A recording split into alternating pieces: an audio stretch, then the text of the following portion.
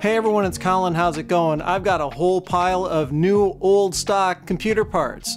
How about we hang out and build a retro PC?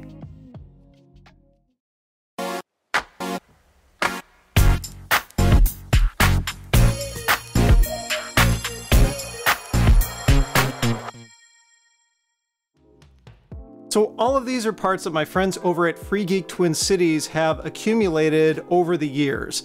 Almost all of them are brand new sealed parts from the late 90s to early 2000s. There are a couple of exceptions here and there and we'll get to those as we go through each of these items, but we do have enough at this point to build effectively a new retro PC. I'm targeting that late 90s, early 2000s era for a couple of reasons. One, because that's really what a lot of these parts kind of match up with. And two, because that's a pretty popular era to be targeting these days. Kind of that Windows 98, early Windows XP era.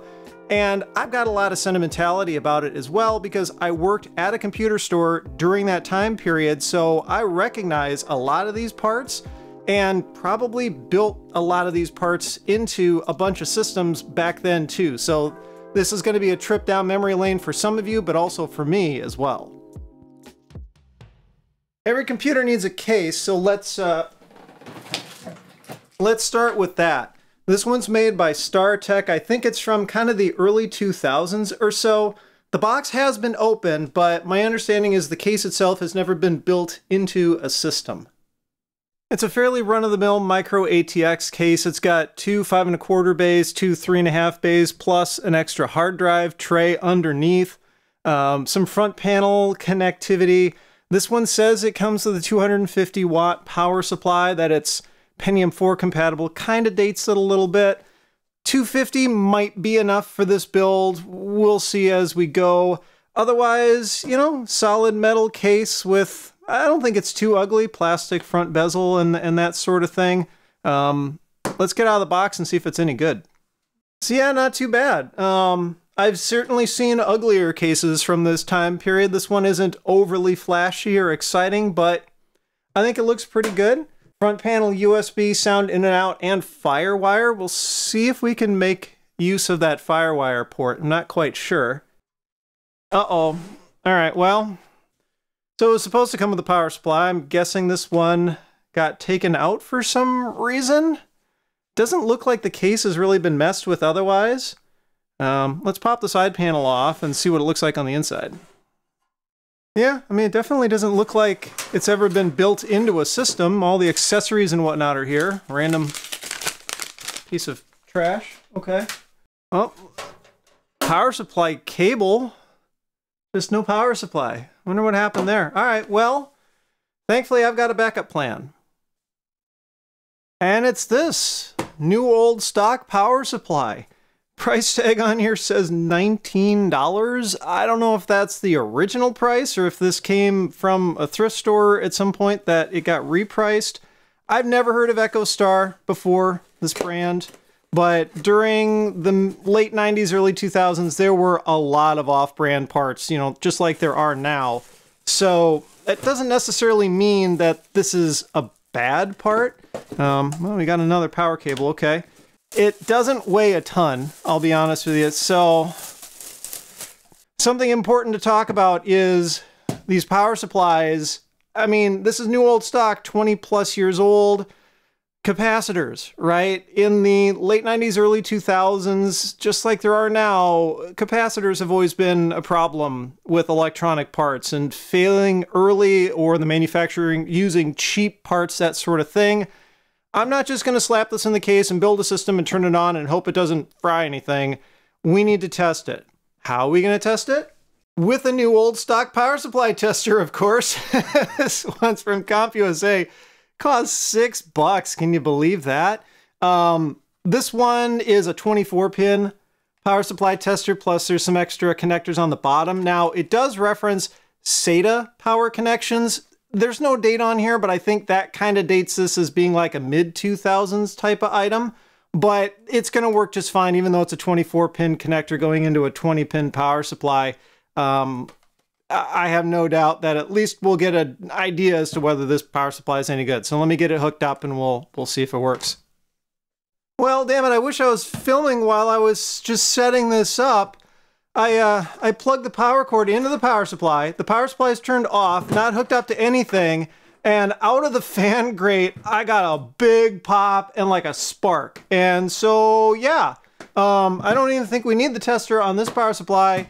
This thing, it's done. Uh, thankfully, we've got a backup plan. And it's this, another new old stock power supply. uh, DiabloTek, this one says it's a 350 watt. Um, looks like it's definitely going to be a little bit higher end. It's got an additional fan to, you know, get through the unit cooling going a little bit better. Vibration dampener included. Um, this one's got SATA power on it. So again, kind of a mid, yeah, here we go, 2011 date on it. It's gonna work just fine. It means it's a 24 pin power supply, but it says it's 20 slash 24 pins, so we can disconnect the, uh, the additional four pins because the motherboard's not gonna need them. Let's go ahead and test this one out, and I promise I'll film while I plug it in to see if we get any more explosions. Contact. Ooh, okay, are we safe? Didn't blow up. All right, at least not yet. Let's get the um, the motherboard power supply, motherboard connector in there. All right. Oh, and the fan's kicking in.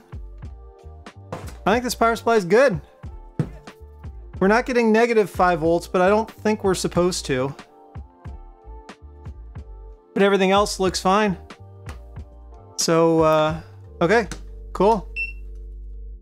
So it looks like to get the power supply in here, I actually have to take the top of the case off. There's just a screw in the back for that, and then it should slide, but I probably need to take the front bezel off. So let's just go ahead and get this case taken apart so we can start throwing stuff in it. All right. These side panels are actually pretty decently thick and heavy. This case does not feel flimsy at all. I'm kind of impressed. What is this? Random, like, bits of hot glue in these upper corners. Why did they do that? That's weird. I have no idea if this vibration dampener thing is actually going to do any good. I mean, it can't can't really hurt as long as it, you know, fits inside the case, but I mean, retro PCs were just kind of loud and rattly and everything anyway, right? So I might actually be uh, doing this thing a little bit of a disservice if I were to try to quiet it down too much, but whatever. Yeah, this rubber isolator thing is kind of a pain because it doesn't really want to stay in place. And it also, yeah, it's preventing the power supply from fitting correctly. All right, screw it. Let's go noisy rattly mode. There we go. That's a lot better. I remember a really popular thing to do back during this time period before we really had like power supplies that were designed specifically to be quiet is people would cut out these fan grates because some of the fan grates didn't have very good airflow.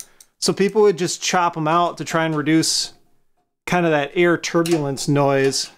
Sometimes it was actually pretty effective when they would do that. Other times all it did was just leave little sharp metal bits for you to cut your hands on. So every computer needs a motherboard, and this is the one we're going to go with. And this, unfortunately, is one of just a couple of parts that we had to get as used parts.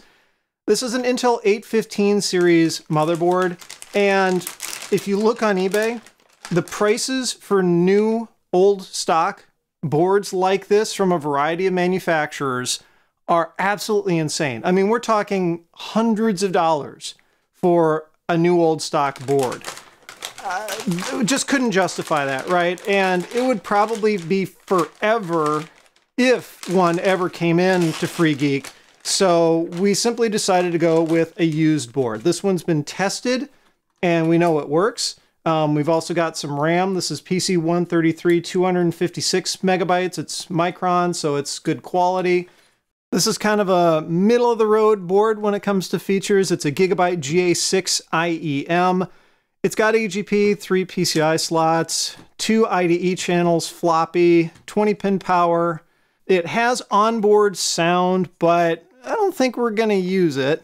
Um, it also has onboard video, and likewise, I don't think we're going to use it. There was another version of this board, as I understand, that came with onboard networking. This one doesn't have it, but I don't think that's such a big deal.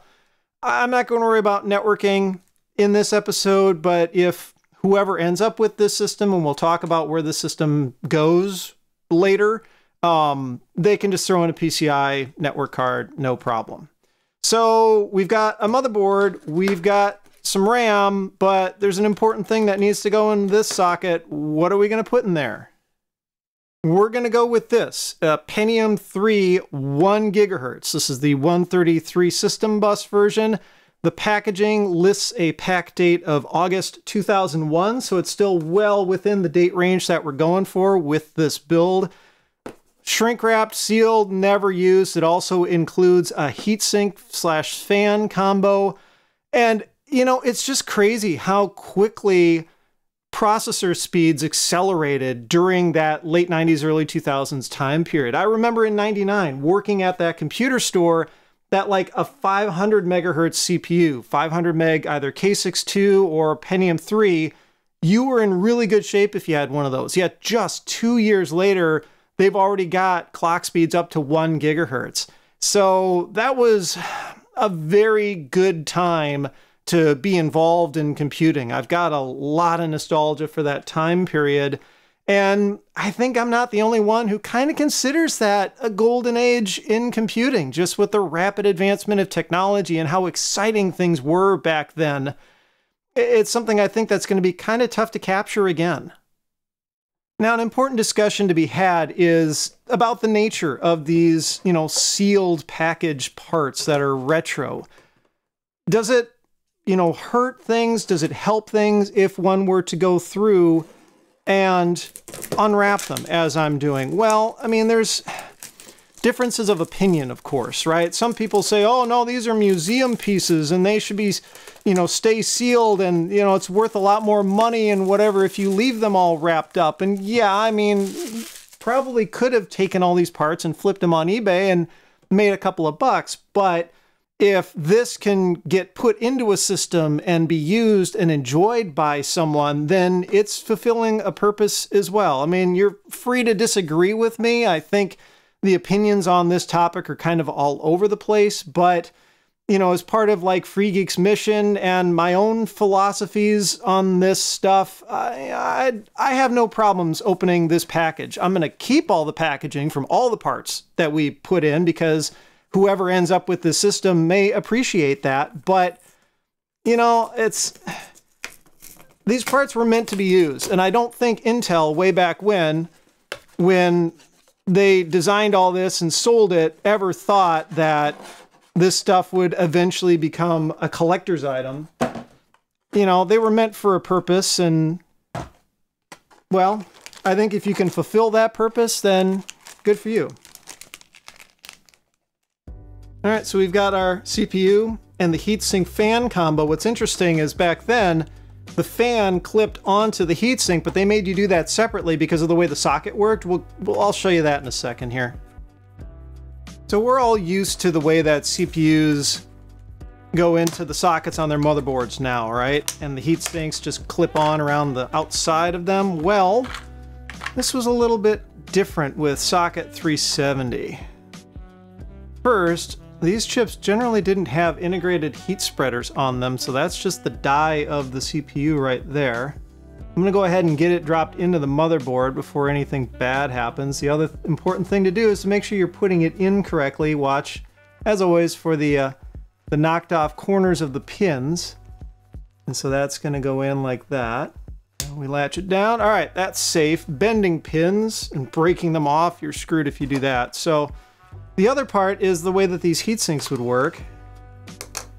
This one does have heatsink compound already on it. Uh, do I trust it? I don't... These CPUs didn't really get all that hot. but uh, this compound is 20 plus years old. So I think I'm gonna go ahead and replace it. This stuff is kind of weird. It's not like what we would normally expect out of thermal paste. This is kind of like a really thin thermal pad, but it's supposed to have a little bit of paste-like consistency to it, and I'm just not feeling that on here. So I think we can do better. Let's just go ahead and try and clean this off and uh, put some new paste on there. All right, so I got the heatsink all cleaned up. Uh, what am I gonna do for thermal paste? Arctic MX4. Why? Because it's what I've got on hand. It's probably more than what this thing needs or deserves, but you know, you can't say at least that I'm not trying to give this thing a good chance at thermal efficiency, huh? You don't need a ton of thermal paste. I'm not showing you how much I put on there because you'll yell at me because this is the internet and everything I do is wrong. But uh, the reason that these come without the fan on them is because of the way that these retention clips work, or clip, I should say, singular. You get this side on first and it hooks onto the side of the socket and then the other side flips down and then you just push the lever to lock it in place and that's not going anywhere. Then you can take your fan and I don't think it matters which way the fan goes on, but it just then clips to the top of the heatsink.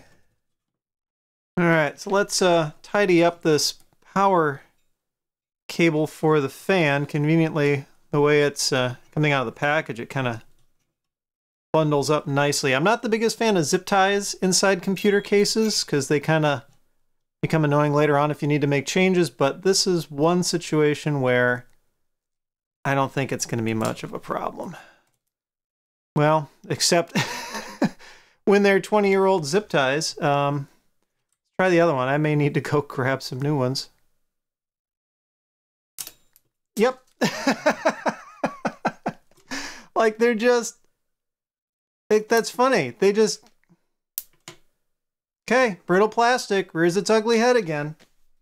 Okay, third time's a charm with some new modern zip ties.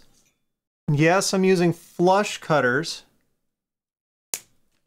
See, no sharp bits. I know better than that. And conveniently, the CPU fan header right there. That's nice and tidy.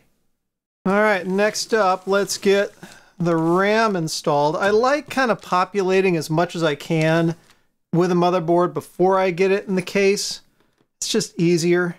Um, like I said, these are PC133. These each are 128 megabytes, so we'll get 256, which is going to be a very healthy amount, I think, for a machine from this vintage. It doesn't really matter if I did a single 256 or a pair of 128s. This thing didn't have dual channel. That really wasn't a thing back then, so there's no performance difference. I think the board maxes out at 512 megabytes at the top end, uh, if I remember correctly.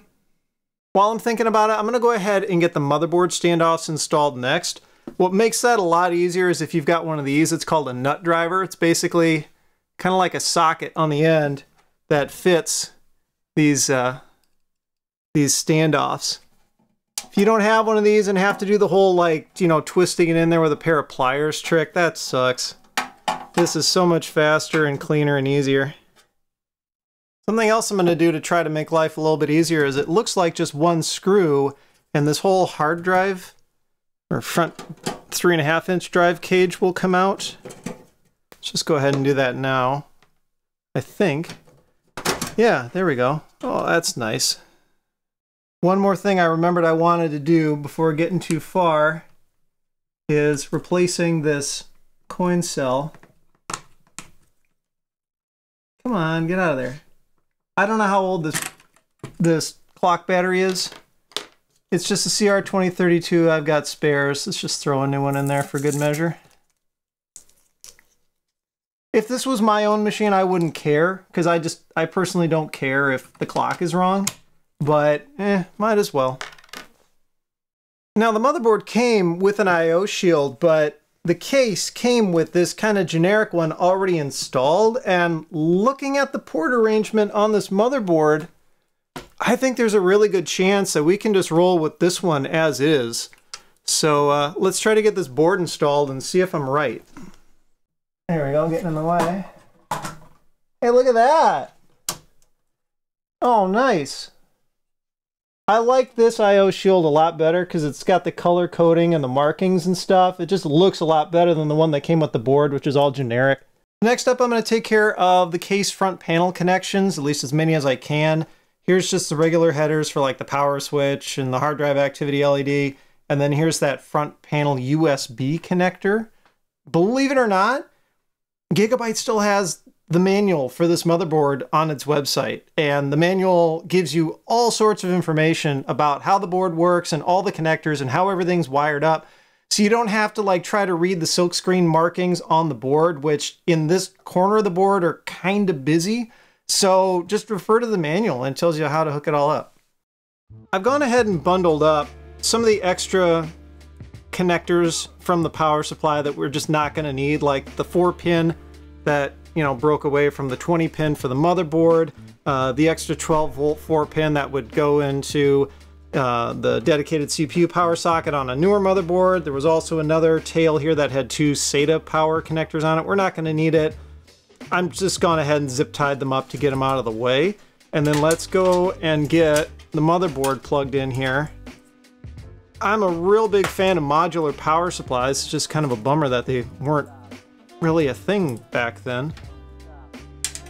Or not much of a thing, I should say. I'm sure you could really get one if you wanted. Alright. How about we get some drives installed in this thing next? Um, two five and a quarters, two three and a halves. I've only got one optical drive, so let's just go ahead and break out the top one. And then I've actually got two three and a half inch drives. So let's try if we can. Oh, these don't want to twist out so easy. Come on. Okay, the first thing we're going to want is a hard drive. How about, again, a brand new in-box one? This one's kind of interesting. 20 gigabytes, it's IDE. It's Maxtor, but it was kind of like a special packaging deal for CompUSA. I vaguely remember some computer stores doing something like this. Something that is interesting is where it gets to talking about the warranty, there's a sticker. The warranty thing here is a sticker that says one year warranty. How much you want to bet that there's a bigger number printed on the box underneath this and CompUSA and or Maxtor cheaped out and decided to shorten the warranty. Now that does remind me that right around the early 2000s, like all the hard drive manufacturers across the board cut their warranties. Like when you bought a drive in the late 90s, a lot of times it came with like a five year warranty. But in the early 2000s, they all cut it down to three years.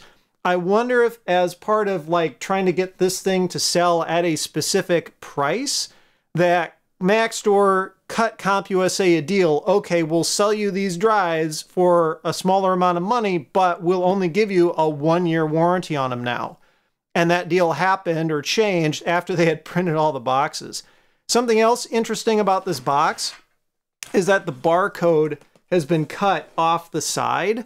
Um, it's still shrink wrapped sealed. It's never been opened, but clearly someone cut the UPC off the side to send it in for like some sort of manufacturer rebate, I guess. There we go. Kind of want to keep the box as intact as possible to keep with the system just because who knows, people may be interested in that. Actually, fairly nicely packaged. Look at this. So here's your floppy disk, Max Blast hard drive utility. I'm guessing this is just for formatting. Uh, you got some instructions. Yeah, we already know how to put a hard drive in the computer. Oh, look at this. Yep, so they give you a ribbon cable and a pair of brackets in case you need to install this in a five and a quarter bay. I'm not going to need the brackets, but I'll hang on to this ribbon cable because it's actually nicer than the other ones that I've got. But look at this nice foam, and I'm surprised the foam hasn't completely like turned to goo because this kind of foam likes to do that over time. And then ooh, all nestled in here, DiamondMax hard drive. Still all static bagged up. From like 20 years ago. Maxtor, incidentally, was purchased by Seagate uh, quite a long time ago, in fact. Some people didn't really see that as much of a problem because, you know, Maxtor was a proficient seller of hard drives, but they didn't necessarily have the best reputation. All right, let's see what kind of warranty originally came with this drive, if we can. Yeah, there it is. Used to be a three-year warranty, and then they cheaped out, or cut a deal or whatever, down to one year. It would make sense to put a floppy drive in this computer, so I am. This is unfortunately another one of those deals where we just didn't have a new inbox one. It didn't have one come through in like a very long time. So this is a used drive. However, it's been tested, it's known to work, it's period accurate. I mean, it's a three and a half inch floppy drive made by Sony. It's going to be good. We'll just throw it in there. Now, this is otherwise going to be a very straightforward build, right? The whole idea is just kind of period accurate, like mainstream. If you had like 1500 bucks to spend in the year 2000 or 2001, what would you put together, right? As close as we can get to that. But I want to add one little bit of quirkiness to this machine, just to kind of give it a little bit of extra interest. And we're going to do that with this an Imation Super Disk drive, also known as LS120. This was a direct competitor to the Zip Disk. However, it just didn't really do very well. From what I remember, the Zip Disk came out kind of in the mid 90s and it just got instantly popular, right? The Zip 100 drive just took over the computer market by storm. Everybody had one. It worked good enough for the time. And then Imation, which was actually a spin-off of 3M, they decided to try and get into the game, but they got into it a little bit too late. And they figured, okay, maybe they could make inroads by adding backwards compatibility. So as you can see on the front, the whole idea was LS120 disks were the same form factor as regular 3.5 inch floppies. So the drive could accept both. At the time, even though zip was popular, people still used floppy disks didn't work. I mean, some people bought into into LS 120, but for the most part, this thing really just kind of fell flat, which is a bummer because it was an interesting and novel format. But I think as a little bit of a quirk, I'm going to throw it in. Now, why am I going to do an LS 120 drive in addition to a regular floppy disk drive? Well, that's because this thing actually uses an IDE interface instead of the traditional floppy interface.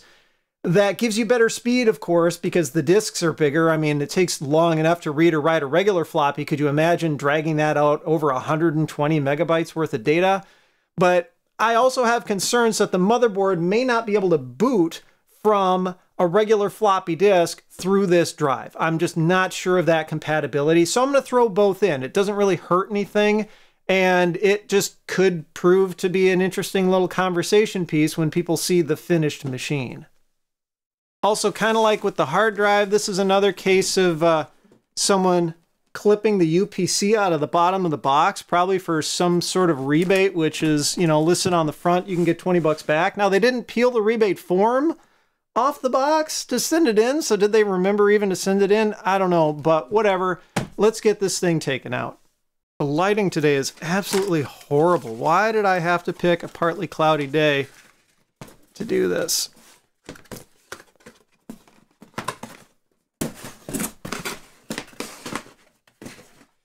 All right, another installation kit. Um, this probably also takes you from three and a half up to a five and a quarter bay. I'm starting to amass a collection of those, it seems. $5 rebate when you buy some discs. I doubt they're still honoring that. In fact, Imation doesn't, they still exist, but they're not in this market anymore. Driver diskette, we are going to need that for sure. And the drive itself, all neatly wrapped up, and I believe the packaging said this was made in Japan. And then another IDE cable, just kind of a generic one, weird stain on there. And finally, a neat uh, little case badge that we'll throw on the front later. All right, and because we've got this nice, neat, separate cage assembly, we can install all the drives before we put them in the case. That's kind of neat. They've got little shock mounts for the drive. I appreciate that. I like that. Hopefully the uh, rubber things actually do something and not just look pretty. All right, I think it makes the most sense to put the LS120 in the lower three and a half inch bay. What's up with this piece of card? Is there something? Oh, okay, yeah. So they wanted to protect the uh, the circuitry on the bottom of the drive. And then it looks like there's kind of, yeah, these spring-loaded latches to help hold everything together. Okay, so this uses a Berg connector. Ooh, I just realized this power supply supply's only got one Berg connector on it, and I'm going to need that for the floppy disk. We'll look, maybe they included uh, an accessory in the box that I didn't see to adapt. Uh, I hope so. All right, so it goes in there something like that. Go ahead and at least just get the carrier itself screwed back into place. I'll worry about the final positioning, like front to back, of the the two drives when I get the front bezel on because it'll change, right? An optical drive would be kind of nice, so uh, how about a CD burner? Very period accurate, at least in terms of what people were going for. If you were really rolling in, you know, 2000, 2001, you'd have a DVD reader in one bay and a CD burner in the other, but I don't have an in-box DVD reader. This one is a little bit later because of the speed. The 52 times didn't come along, you know, until a little bit later, but it's it's still pretty close. It is an IDE interface. This is another one where it's it's brand new in package, but somebody also cut the UPC out, you know, again for a rebate. But you can see on the back here, the seal is still intact, so uh, no one's been in here. And the packaging does say that this is compatible with Windows 98, so it's going to be, you know, fairly period accurate. All right, let's see what we get with this drive. I'm guessing at least another IDE ribbon cable. Yep. Well, no. Did I? Oh, interesting. No IDE ribbon, but an audio cable and some screws. And a copy of Nero. This was a very common uh, pack-in CD burning software. The other one that was really popular during this time period was Adaptec Easy CD Creator. Um, both worked pretty well. I don't think there's too much of a preference either way.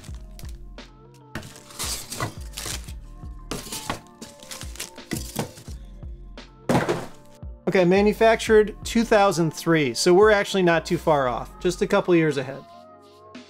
And again, we've got these like quick release latches on the side.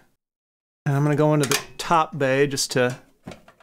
Actually, let's check the jumpers real quick. Should be... Oh, no. They've got this thing set to secondary. So I've got the hard drive, the LS120, and the CD-ROM.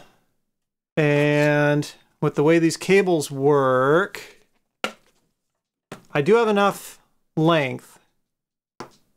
So let's do yeah, let's do the CD-ROM as primary, and then I'll go in and re-jumper the LS120 as secondary. That'll make things easy, because then the hard drive can be on its own IDE channel. So let's start to get some of the data cabling going for those drives, and I'm not going to go too insane with you know cable management like i like having nice neat cabling but i'm not going to go like super ocd or whatever however these IDE cables are kind of a pain unless you try to manage them, so I've done this. No, it does not damage an IDE cable to fold it, but what doing it this way lets me do is I shall show you.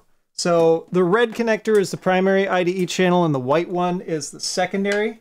I'm going to put the hard drive on that primary IDE channel and what folding that cable allows me to do is keep it all nice and neat right? Like that.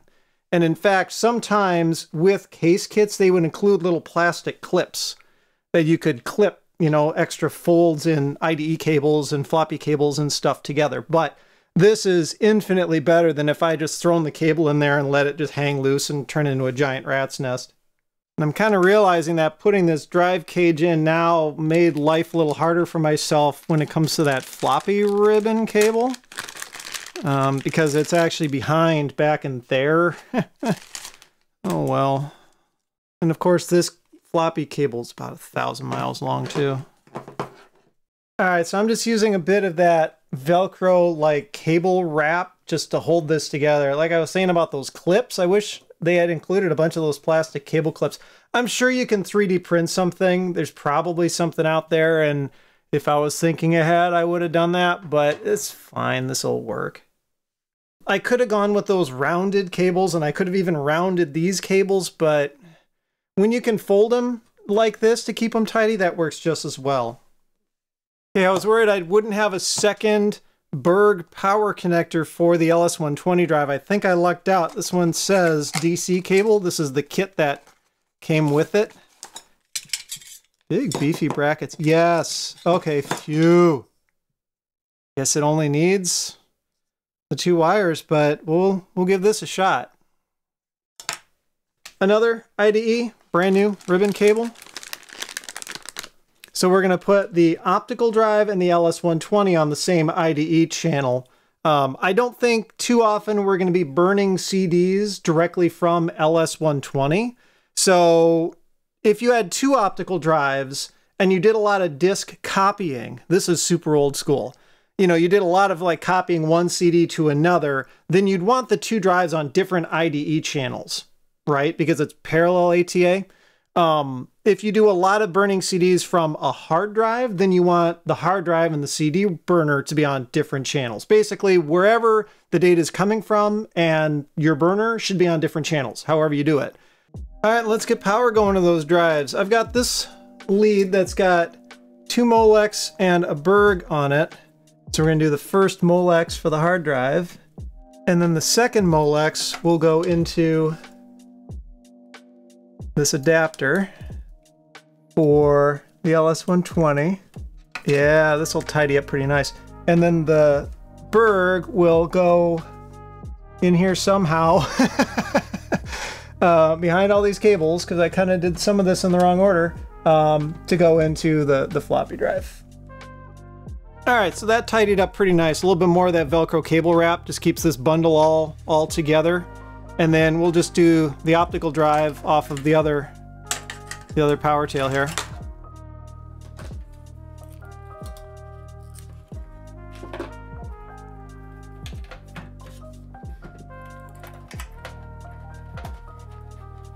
There we go, nice and tidy. All right, the drives are done. That's the messiest part. Now it's some fun with expansion cards. How about a video card? Yeah, you didn't think I was going to use the onboard graphics, did you? Riva TNT2 Ultra 32 meg. This card is awesome. It's also the deluxe version, which is kind of weird because it includes two things that you wouldn't really necessarily expect. First is that this thing has these like 3D in quotes VR glasses that are included. Um yeah, VR back then is very different than what we know of VR now, so don't conflate the two. The other thing that's really interesting is not only is this a video output card, but it also seems to have video input and capture capabilities, which is pretty sweet. My understanding is that it also has built-in DVD decoding, which is really useful, even though the drive that we're putting in here is just a CD burner. If later on you want to swap in a DVD drive and watch movies on it, not sure why you would, but if you did, the card can do the MPEG-2 decoding, and that's kind of a big deal because otherwise you'd have to deal with software decoding, and not all computers were fast enough to handle that. In fact, if you didn't have a powerful video card that had onboard decoding, but you wanted to add a DVD drive to your computer back then, you could throw in something like this. This is a dedicated DVD playback card, and it just has a chipset on it for decoding MPEG 2 video, and it works by kind of passing through from your video card. So you can kind of see on the front. This one's sealed as well. I'm not going to crack it open because we're not going to use it. But it's got basically a video input that would come from your video card. You'd get a short little stubby video cable that would go between the two. And then you'd plug your monitor into the output on here and it would do like a video overlay kind of a thing. This is just the card. It doesn't even include the DVD drive, but it does include software, thankfully. Um, but yeah, I mean, 99, 2000 DVDs were really starting to take off. And so a card like this would come in super useful. So let's see what you'd get in the box with this guy. I've been told this one is new unused. I mean, it's at least complete in the box, although there's no shrink wrap on it. Composite to S-Video, S-Video to S-Video, composite to composite. That's all talking about that video capture capability. And ah, ah, the card is missing. What? Who took that? Where'd you go? It's just, are you kidding? It's just the video cables. Oh, you told me it had everything, but you get the glasses. So, okay, no video card, but here, Colin, you can have these stupid 3D glasses. And the foam, I think, was just for, for packaging purposes, but yeah, and they were wired. You had to plug them in to the card because they're like the active shutter type. I don't know. I don't know much about 3D. I don't, I kind of think it's dumb, but yeah, back then, Asus branded 3D glasses, but I got robbed. No video card. I'm gonna have to figure out what to do now. That sucks. Sound card. This one we're gonna definitely have better luck with because it's still shrink wrapped. um, it's another one of those deals where we're like slightly ahead of the target like time period that we're shooting for, but not by much. Audigy 2 ZS, this thing goes back to 2004, so pretty close. And I'm hoping that it might tie in kind of nicely with the case I'm gonna bet that there's front panel audio header on here, but this card also has Firewire on it. And I'm hoping that it's got a Firewire front panel connector on there as well to tie in with the front of the case so that I don't have that port on the front being unused. I'd like to have the whole thing be completely functional if I can. But this is a nice card and I'm kind of surprised that they left it, you know, to go into this build instead of selling it on to someone because these are fairly desirable. So they shrink wrapped it and sealed it. Okay, so think we're actually going to have a card this time.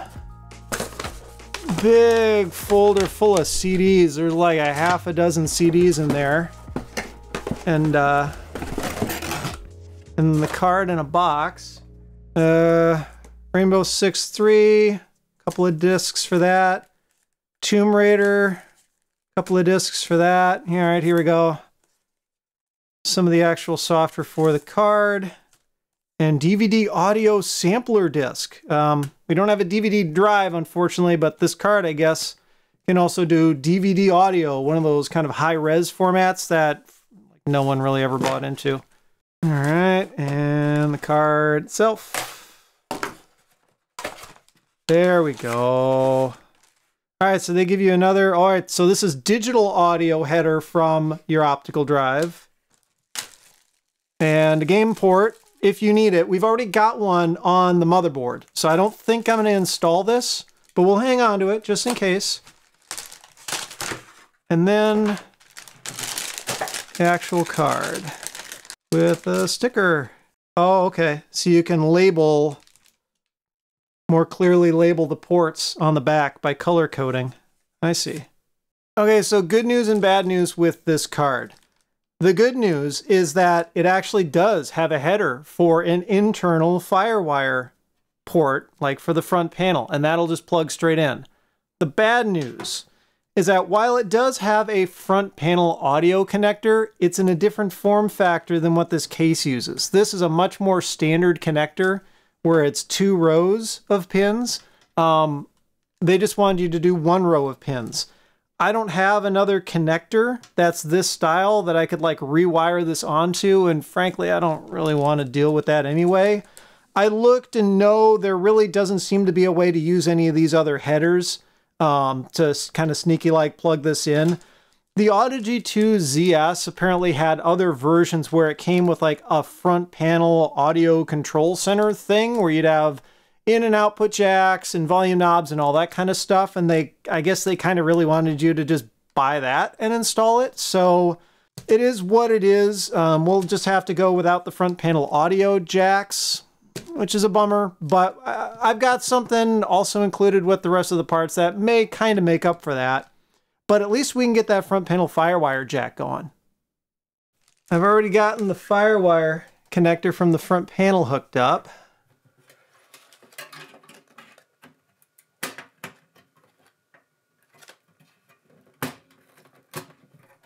And then interestingly, that CD burner has digital audio output on it.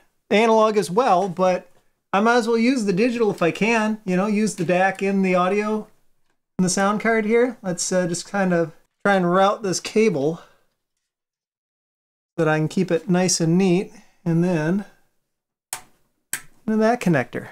There we go. So far, the only fans in the system are the ones in the power supply and the CPU fan. I'd like to get one more in here just to kind of help promote some airflow. If I can only do one fan, I prefer to do it in the back, blowing out, and it'll just kind of passively pull air through the front. And of course, I've got a new old stock fan to do it. Unfortunately, this isn't a three-wire fan, although it does have a thermistor on it. So it should take care of speed control itself. We'll see how horrible it is. What's also interesting is it's got some LEDs on it. I don't know what color they are. Maybe pink, we'll see. Unfortunately, the case isn't too kind of like garish or flashy otherwise. Uh, it would be kind of fun to light this thing up a little more, but that's that's not really quite the feel that I'm going for anyway. But three bucks from the computer exchange. Never heard of them before, but it's uh one of those types where it's just got the adapter to go to the four pin Molex so we can just tie into this connector here and try to keep the wiring all tidy. Yeah, that's uh that's fairly neat wiring. Looks good. Okay, so two video card alternatives. Both of these are used, unfortunately, just Free Geek doesn't have any more new inbox retro video cards. Imagine that. This bottom one is another TNT2. Uh, it's a 16 megabyte card though, and I feel like for a CPU that's from 2001, uh, this might be uh, leaving some performance on the table, shall we say. This upper card is an Asus V8170 SE. It's the low profile version, though that doesn't really matter. It's a GeForce 4 based card, but it's also 64 megabytes of video memory. And while this card is from early 2002, so it's like a little bit newer than kind of the rest of the build, I don't think it's too far out of place. So I'm feeling like we go with the Asus this time around. Remember when all you had to do when installing a video card was just install it? You know, now it's like, do you have the right connectors on the card? Do you have the right connectors on your power supply? Does your power supply even have enough juice? This time it was just like, can you plug the card in? Yes. Okay, you're good. you know what I mean? Like, it was so, so much easier. So as a bit of consolation for not having a new inbox video card, I'm going to throw in a new inbox network card. This is an incredibly common part from the late 90s, early 2000s, a 3COM 3C905. It's 10100 because gigabit was just a little bit out of reach for most people at the time, but these were very popular, not just because of price, but because they were really easy to get a lot of people were finally starting to get into the concept of home networking in the late 90s, early 2000s because of the rise in residential broadband, things like cable internet or DSL. Prior to that, you most likely used dial-up, and with dial-up, it's really tough to have multiple computers share that same connection. The benefit to residential broadband, of course, was faster speeds, but also the fact that you could network multiple computers together and have them all share that same connection. So an awful lot of people during that time period, if you had one or more PCs and you got home broadband of some sort and you needed a network card, very good chance you had one of these. All right, might as well work on getting this thing buttoned up. Front bezel is next. I know I need to pop out the two three and a half bay covers and the top five and a quarter cover. And yes, I'm going to be keeping all of the spares with it. In fact, I'm keeping all of the spare parts and screws and cables and everything that came with all the different parts and pieces that we installed in here. They're all going to get put back in the box and stay with the system. All right, so the CD-ROM drive lined up, but these guys didn't. So let's uh, loosen them. Oh, neat. Yeah, and then they can just kind of slide forward. Oh, and there's one thing that I can't forget to do.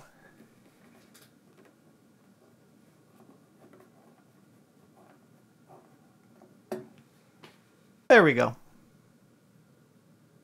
So the computer's all put together, but what about accessories? Well, how about some new old stock CDRs to go with that CD burner?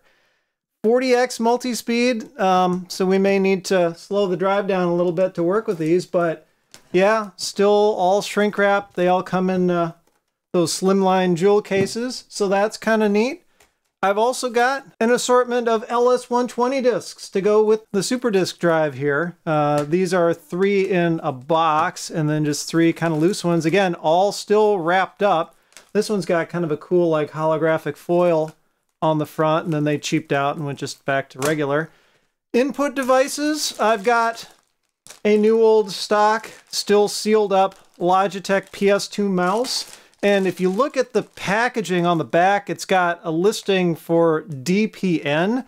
In my experience, that refers to Dell part number. So this might have been like an OEM Dell mouse or one that Dell would have thrown in the box with the system. It doesn't have their logo on the front. It still just says Logitech, but it's, uh, it's a ball mouse. It's got a scroll wheel. Latest in technology for Windows 98, I guess. But, you know, it's sealed. That's nice. And then for keyboard, well, we've got this beast. Let's take a closer look at this guy. All right, so this is one of those ergonomic keyboards, contour keyboard from a company called Mouse Systems. I've never heard of them, but this thing's got kind of an interesting quirk to it. This is another one of those like new in box sorts of deals, but again, like with some of the other boxes, they uh, they cut the barcode off the back so that they could do some kind of mail-in rebate, I guess. Um, the packaging is kind of telling as to what this thing can do. I mean, it's a normal ergonomic keyboard, but it's also got reference to this whole mouse key thing. I guess the idea is that you can press the key in the middle of the split here and toggle it into allowing you to move the mouse pointer using the numeric keypad. I would imagine using that would take quite a bit of getting used to. And then just because they could, they also threw an extra backspace and tab key right above the spacebar in the middle as well. In case you use those keys a lot and they can be like, you know, right by your thumb. I don't know. Let's see what this thing looks like. Yeah, okay. So it's actually still in here. I didn't get burgled of this either. Oh, and they uh, included an AT to PS2 adapter. So that's kind of neat. Yeah. Extra random keys in the middle there. It's also got what looks like a power key. What is that for? That's a Mac thing. I don't think that's going to work on a regular PC, but who knows? Um, one thing I am curious about is, so that mouse keys thing, makes it sound like you need a special control panel and stuff to make that work, right? But all that was included in the box was the manual. No driver disk or anything. Is that something Windows 95 had built in? I don't I don't think so, but whatever. Now I could hook the computer up to a modern LCD, but where's the fun in that? How about instead ugh, new old stock CRT? So this is another one of those deals where the box itself is kind of beat up and has been opened before, but the device inside is still brand new, never used. So this is a 17 inch eMachines CRT. Uh, it's like a silver and black kind of color. I know that doesn't perfectly match the case, but the case does have some silver accents on the front, and this thing is primarily silver on the front, so I think it'll be okay. I should have done all of this out at Free Geek. They've got way more space to do this sort of stuff than I do. Oh well. Yeah? Yeah, look at that. Oh, it's one of the front, the, the flat square front ones. Okay, so I learned my lesson the last time with that power supply. I gotta be filming whenever I plug stuff in so we can see if it like blows up. I hope not. Kaboom! No, okay, just kidding. Okay, here we go. Cross fingers. Uh, power the monitor on. Okay, a couple of click sounds that I think were normal, and uh, uh please work.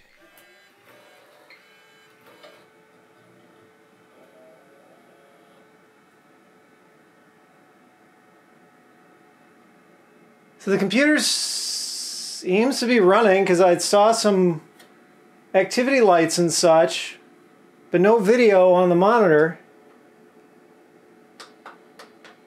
Yeah. Shoot. The monitor was sounding like it was going to work. I'm hearing like relays clicking and stuff in there, but no image at all.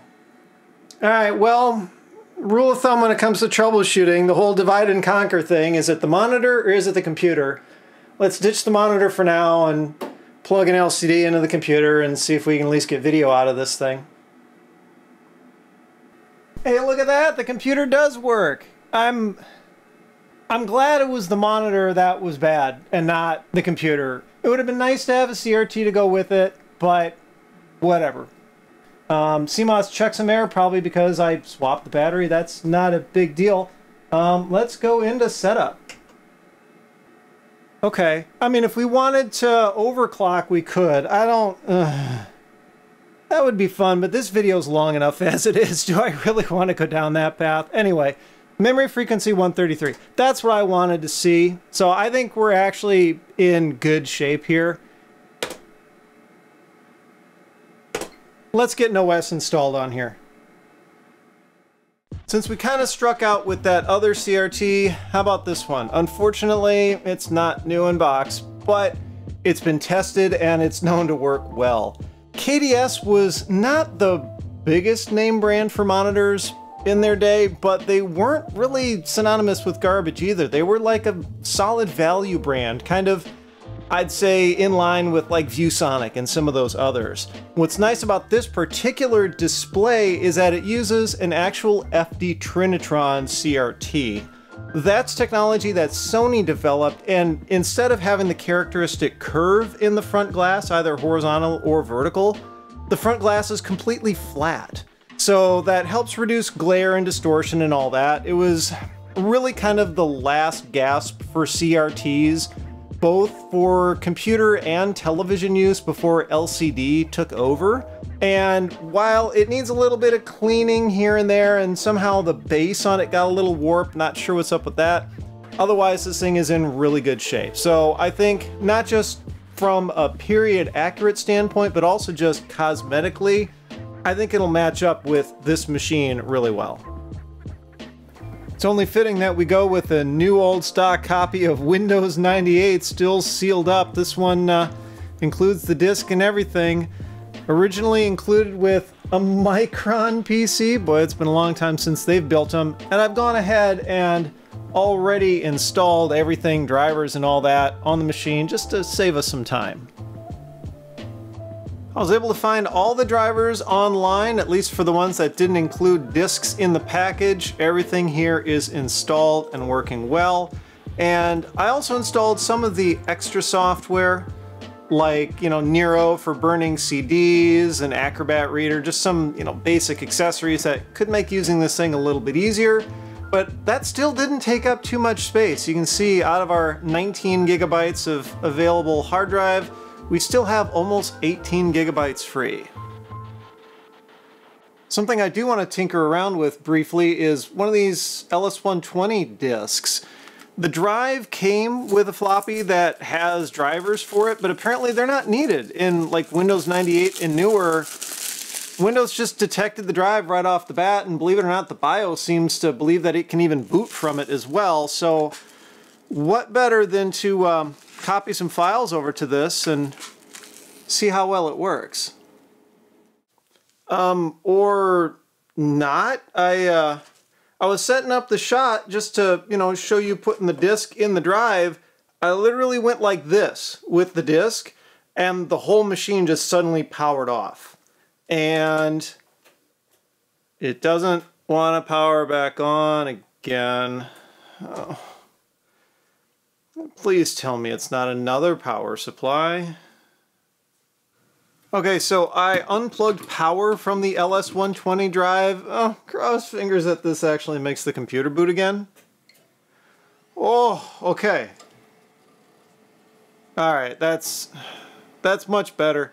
This drive must just be dead, which is weird. Like, it only failed when I tried to put a disk inside it. And otherwise, Windows was recognizing it. I don't know. It's a bizarre failure, um, but good thing I've got the regular floppy drive in there, so bummer we won't be able to explore LS120 today. I think I'll be saving that for another video anyway, because there's an interesting story to be told there. But I'll put the blank back in, you know, take the drive out, we'll move on with our lives. So I just realized something's kind of missing from this setup. We've got a good video card and a nice monitor to match. We've got a nice sound card, but, well, how about we pair it with a new old stock set of speakers? uh, these are made by Acoustic Research, the Partners 22. Um, according to the box, it looks like they weren't necessarily meant just for computer use. They show how you can hook it up to like a Walkman or a keyboard or a TV or whatever. But the label on the other side says computer gray for multimedia. So I think these will match quite nicely. All right, let's crack these open and take a look. Ooh, separate audio cable. So these aren't the super cheap ones that come with the uh, audio cable like permanently attached to one of the speakers. These might be a little higher end. Oh yeah, got decent weight to them too. Wow. Both of them do. These could be halfway decent. There's like a threaded insert on the back if you wanted to put them on some kind of mounting bracket. Fascinating. So this is going to be the passive one. And yeah, this is the uh, the active one, likely with the amplifier in it. So you've got signal in, speaker out, and then your DC 12 volt socket. Pretty beefy. 12 volt wall wart to go with them. Let's get them hooked up. What, no startup noise? What the heck? Did I plug them in wrong or something? Is it trying to use the onboard sound instead of the sound blaster? Ah, yeah. Yeah, there we go. Hey, there we go. Here, because we missed it earlier.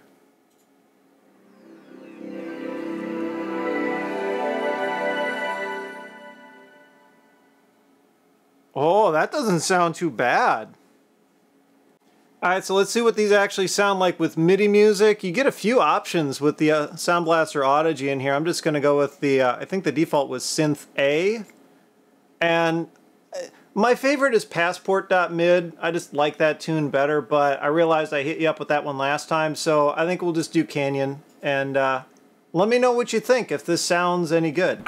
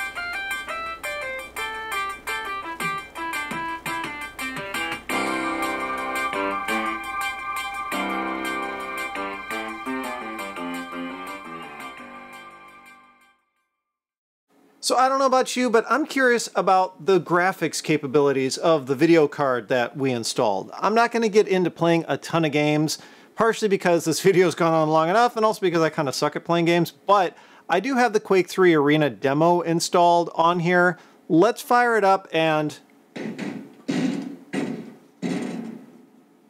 see what we can get in terms of performance. Also, if whoever ends up with this machine in the end wants to play more than just the demo, we've got a sealed copy of Quake 3 Team Arena that we'll just throw in with it so you can get the whole game.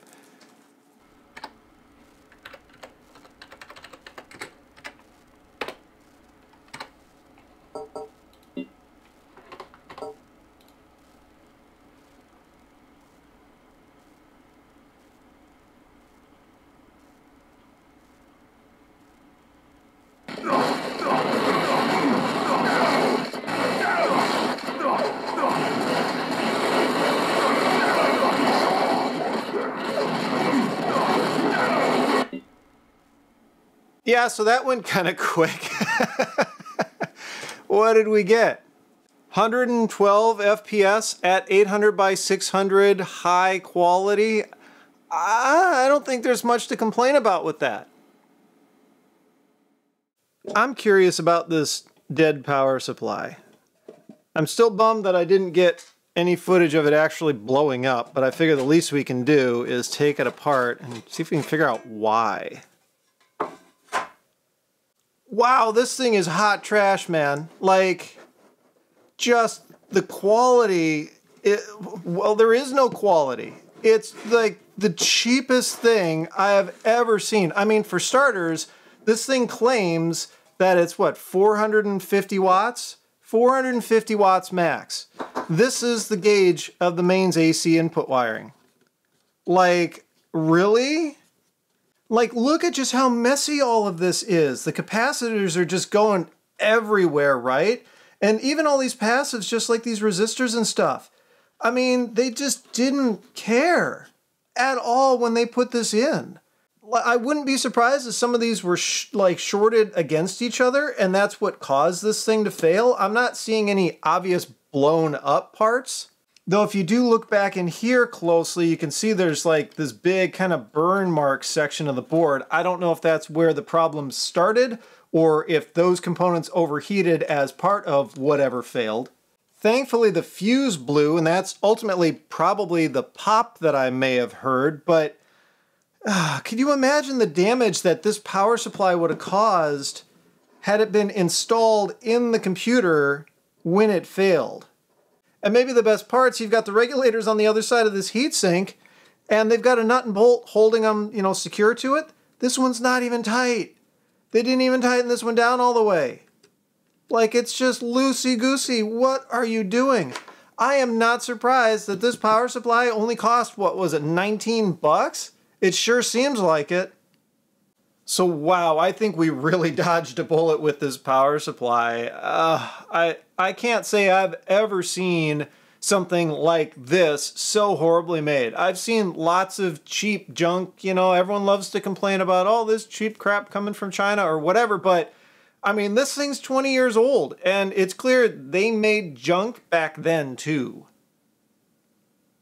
I think that about wraps this one up. Ultimately, all of this will get taken back out to Free Geek Twin Cities and they'll sell it in their thrift store. I'm sure it'll make a retro enthusiast very happy. It may or may not have sold by the time you watch this video, but I am very happy with how all of this came together. Yeah, we had a few snags here and there, the original CRT deciding to not work, the exploding power supply, the LS120 drive that failed later on and the whole bummer with the graphics card not being in the box.